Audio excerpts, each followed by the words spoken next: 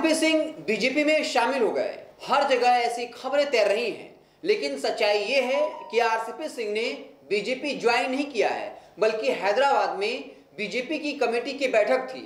RCP Singh वहीं पहुँचे थे और वहाँ बीजेपी के नेताओं ने उनको सम्मानित किया, चादर पहनाया, लेकिन आरसीपी सिंह ने बीजेपी ज्वाइन नहीं किया है। तो जो खबरें तैर रही हैं कि आरसीपी सिंह ने बीजेपी ज्वाइन कर लिया, ये बिल्कुल ही निराधार खबर है। आरसीपी सिंह जो है वो औपचारिक तौर पर बीजेपी ज्वाइन नहीं किया है। वहाँ एक कमेटी की मीटिंग में गए थे, जहाँ बीजेपी ने उनको सम्मानित किया। बता दें कि आरसीपी सिंह को जेडीयू ने किनारा कर दिया बकायदा। राज्यसभा जो सांसद जो है, उसे हटा दिया गया, आवास छीन लिया गया। और आरसीपी सिंह की नजदीकियाँ जो हैं, वो लगातार भाजपा से बढ़ती रही हैं और आने वाले वक्त में बिहार भाजपा में आरसीपी सिंह को एक बड़ी जिम्मेवारी मिल सकती है। इस बात से कोई इंकार नहीं कर सकता।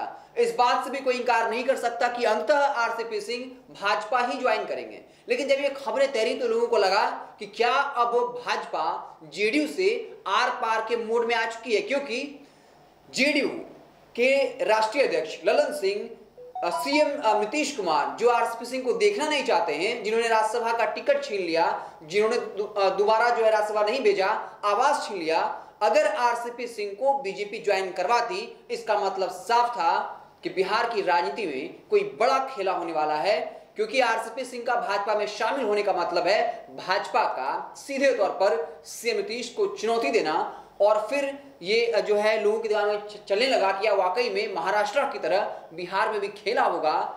लेकिन खबर यही है कि आरसीपी सिंह जो है, उन्होंने बीजेपी ज्वाइन नहीं किया है। बता दें कि पिछले दिनों एक वीडियो बहुत तेज़ी से वायरल हुआ, जहाँ आरसीपी सिंह से पूछा गया कि आप तो कभी नीतीश कुमार के हनुमान थे, तब आरसीपी सिंह का गुस्सा देखने लायक था। उन्हें कहा था कि मैं किसी का हनुमान नहीं हूँ, मेरा नाम आरसीपी सिंह है, यानी रामचंद्र प्रसाद सिंह। क्योंकि जब पत्रकारों ने सवाल पूछा कि आप नीतीश कुमार के हनुमान थे, लेकिन इस सवाल पर वो भड़क गए।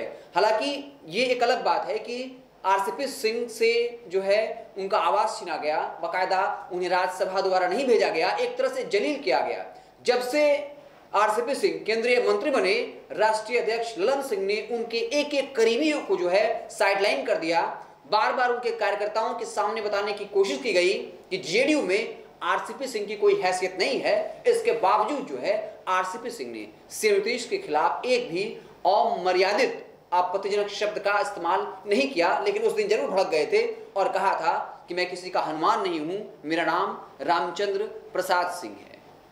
तो यही खबर देनी थी कि जो खबरें तैर रही हैं चारों ओर कि आरसीपी सिंह ने बीजेपी ज्वाइन कर लिया, ये बिल्कुल बेबुनियाद खबर है।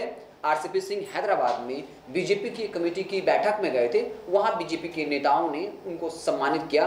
औपचारिक तौर पर बीजेपी पार्टी ज्वाइन नहीं किया है।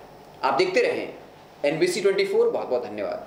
तो जैसा कि आपने सुना कि दिलीप का तरह तरह का जो है वो आरो, आरोप कहें या मांग कहें वो आयोग से है और साफ़ कहना है कि 13,120 पदों पर बहाली पूरी होनी चाहिए और इसके साथ ही साथ ज़रूरत पड़े तो second counselling list second merit list भी आयोग को जारी करना चाहिए। तो फ़िलहाल इस वीडियो में इतना ही। बहुत बहुत